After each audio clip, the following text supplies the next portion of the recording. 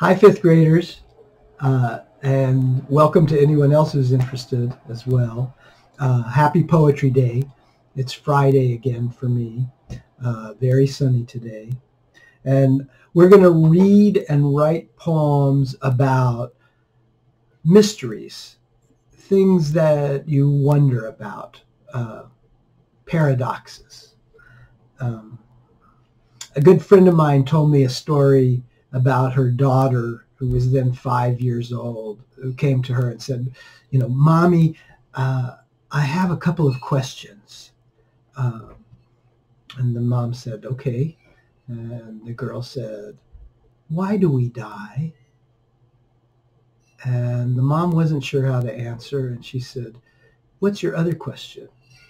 And the girl said, uh, why do you wear the same pair of earrings every day?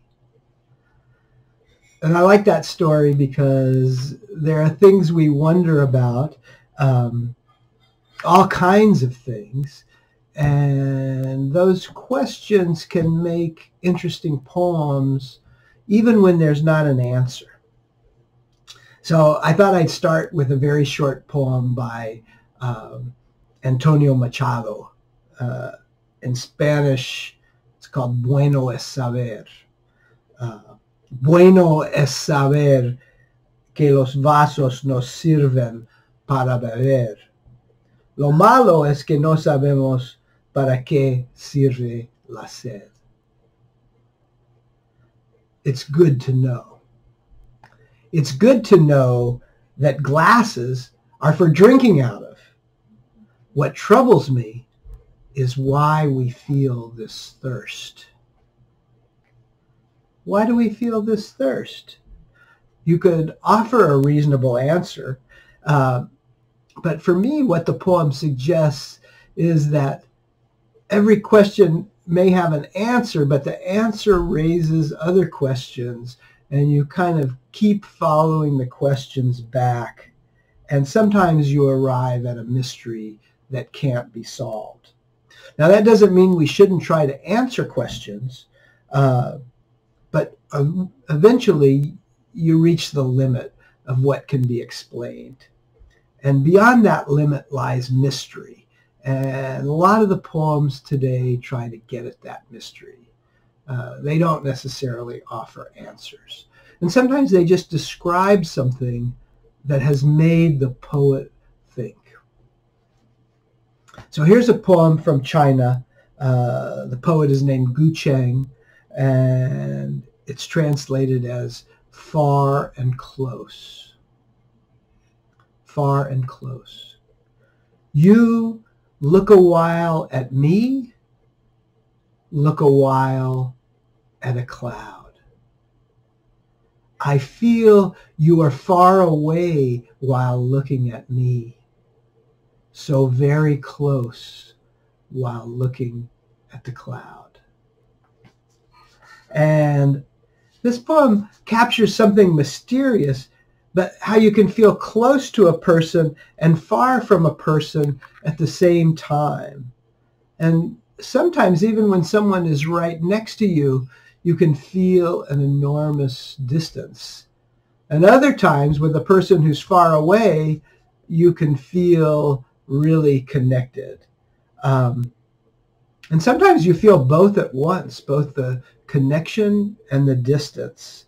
And you know, I have been thinking about this uh, here in this time of pandemic where, you know, you may be in a house very close to a lot of people and you may feel really emotionally close, mentally close some of the time, and some of the time you may feel far away. And similarly, you may have people who are uh, at a great distance right now but there are times when you can feel very close to them.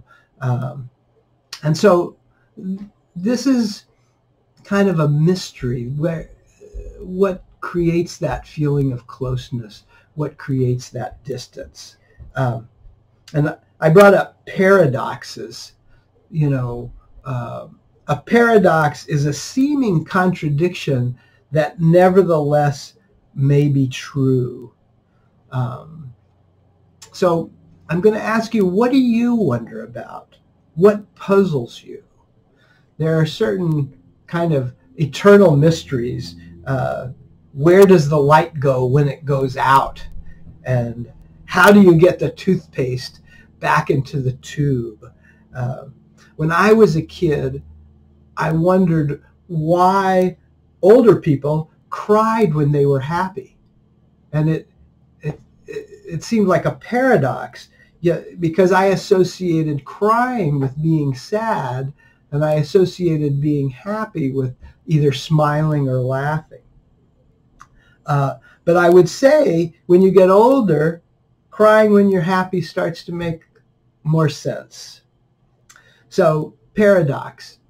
This is an observation I heard this comedian, I think it was Lily Tomlin, make uh, years ago, and I've always remembered it. She said, I went to the store and bought a wastebasket. The cashier put the wastebasket inside a bag. I carried it home and put the bag inside the wastebasket. And to me, that's that's kind of a paradox, and it's puzzling, and you wonder about it. Why is it appropriate uh, to put the wastebasket inside the bag on the way home and the bag inside the wastebasket once you get home? I mean, now we recycle the bag or reuse it. Uh, so things have changed a little, but that that reversal kind of tickles the brain, tickles the mind, and I think a lot of these mysteries that poets are writing about that we'll read today are kind of brain ticklers. They just make you think. Something falls into two different categories and you're trying to figure out where to put it, how to think about it. So here's a poem by Sami al-Qasim. It's called End of a Discussion with a Jailer. So I imagine this person, you know, stuck in a jail cell, but the jail cell has a window.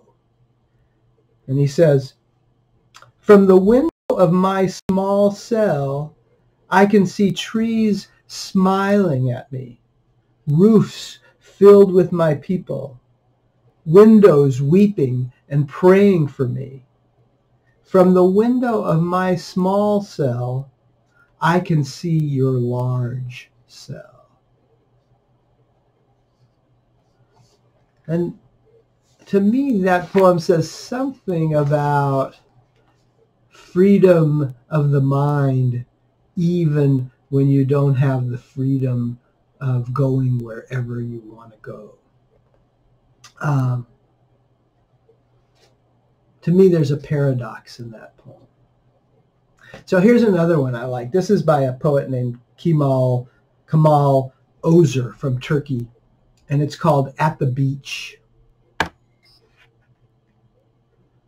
At the beach. The waves are erasing the footprints of those who are walking the beach. The wind is carrying away the words two people are saying to each other. But still they are walking the beach, their feet making new footprints. Still the two are talking together, finding new words Our footsteps don't last, but we keep walking.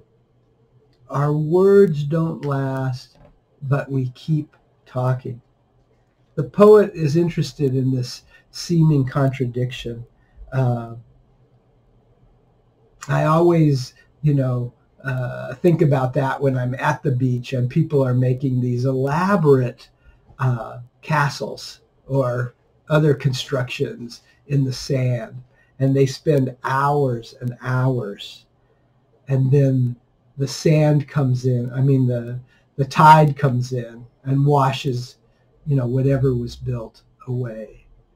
And people do that i'd say because they enjoy the process of making what they're making and to me a lot of what's great about writing poetry is the process of making the poem and of course, it's nice to have a poem at the end that you can show people, but uh, the process itself can be a reward.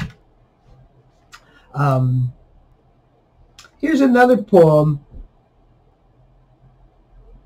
Not exactly a paradox, but it's simply an idea that fascinates the poet. And I hope while you're listening to me, you're trying to think of what are the ideas that puzzle me, that fascinate me? What are the things you think about, the questions you don't really have an answer for, but that interest you?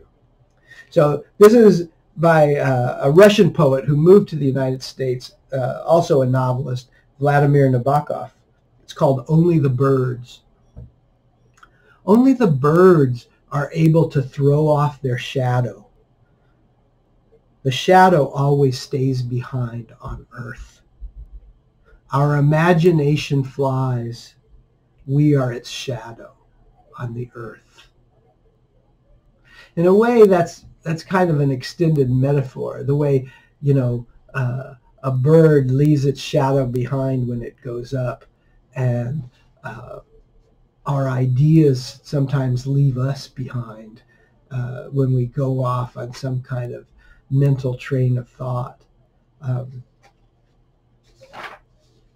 here's another poem by Antonio Machado, who, who wrote that first one about thirst. I'll do it in Spanish again. El ojo que ves. El ojo que ves no es ojo porque tú lo veas. Es ojo porque te ve in English, the see. The see is not an eye because you see it. It's an eye because it sees you. So a lot of these poems are, are ideas you kind of turn around. There, there's a little flip in them, a click where something happens. You get it or you try to get it. Uh, you have a moment of understanding. Or sometimes it's a moment of wonder that moment when you notice something that uh, you appreciate maybe for the first time. Uh, you can see uh, in berkeley last year we had a couple of like amazing double rainbow days where there was just this very vivid double rainbow in the sky. But you can also see you know, sometimes a car will leak oil and there'll be a puddle of oil on the street and you'll see like a beautiful rainbow in the dirty oil. Um, and that, I don't know, that image can set you to thinking and asking questions. And that's what you're kind of looking for uh, in the poems you write today, uh, or uh, something you can try to think about what are those images, those things you've seen that have left you with questions? So here's a slightly longer poem called Bird's Nest. Bird's Nests. You see bird's nests like unpicked fruit in branches bare of any leaves. When I was small, Grandma cut my hair and tossed the clumps onto our lawn. Birds will use it to line their nests and keep the eggs safe and warm. An amazing thing, my ordinary hair woven into a bird's wild tapestry. I really like the last stanza of that poem an amazing thing, my ordinary hair woven into a bird's wild tapestry. Um, the contrast of amazing, ordinary, and wild. I really like those words. And if in your poem you can include something amazing, something ordinary, and something wild, uh, that's a great formula for a poem. A haircut is pretty ordinary, uh, though I'll admit that a haircut in the front yard is kind of unusual. And, you know, there may be more front yard haircuts going on these days and haircuts in the living room and haircuts in the kitchen. Uh, but maybe there's something in those at-home haircuts that creates a sense of mystery. Um, I'll read a poem in a week or two about finding poems in unexpected places. Uh, but the challenge today is to write about an idea that fascinates you, a question you've asked yourself, a mystery that you can't seem to solve. Uh, I'd say any questions. You can't really ask me questions. Oh, I do want to tell you though that Ms. Goyen sent me like I got to see some of the first batch of poems, and uh, they were really great. Uh, I could tell people had put a lot of thought into it and uh, let their imagination go. And I encourage you to try and do that this time. So I want to hear what mysteries are puzzling you or making you think, um, and have fun writing these poems.